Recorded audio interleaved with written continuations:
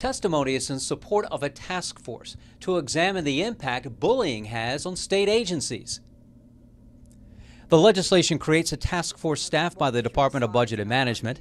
They will not only study the effects of workplace bullying in state government, but also develop a survey to collect data on how often it happens and characterize the type of individuals it happens to.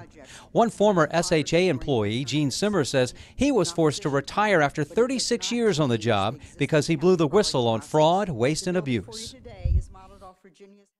We had a gentleman in the office, uh, I thought he was gone. Uh, he was being paid for over seven years and never came in the office. He was supposed to be a part time employee. And when I reported this, when I found out, uh, he hadn't been in the office for so long that when he was called in for his exit interview, he had to call into the office for directions. He had forgot where he worked, how to get to his job.